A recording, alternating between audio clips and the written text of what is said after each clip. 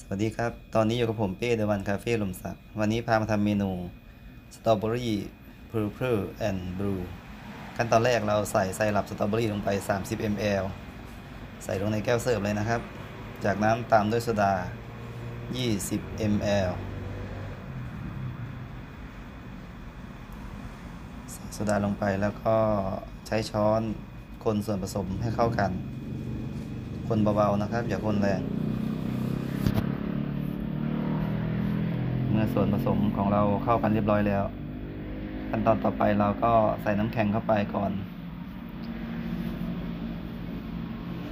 ใส่น้ำแข็งลงไปหนึ่งกระบวย จากนั้นใช้ช้อนคนน้ำแข็งกับไซรัปเราให้เข้ากันสักหน่อย ขั้นตอนต่อไปก็ ใส่น้ำแข็งเข้าไปให้เต็มแก้วเลย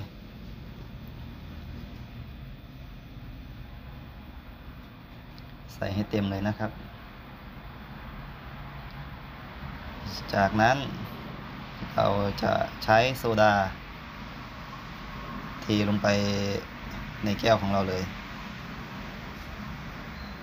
เทไม่ต้องเต็มแก้วนะครับ เหลือไว้ประมาณหนึ่งข้อมือจากขอบแก้วด้านบนลงไป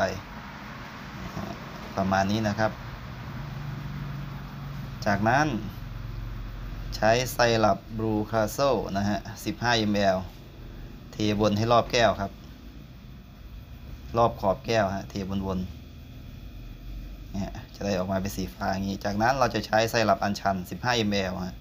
เทลงกลางๆของแก้วนะครับ อันนี้เราจะเทลงกลางเลยนะเขาจะเกิดประกายม่วงขึ้นมาแทรกเข้ามาในสีฟ้าของบลูคาโซนะครับได้ออกมาประมาณนี้นะครับก็เป็นอันเสร็จเรียบร้อยฮะปิดฟ้า จะได้ข้างล่างเป็นสีแดงนะฮะแล้วก็จะมีไส้ตรงกลางเป็นสีม่วง ขอบนอกเป็นสีฟ้านะฮะโอเคครับ สวยงามเลย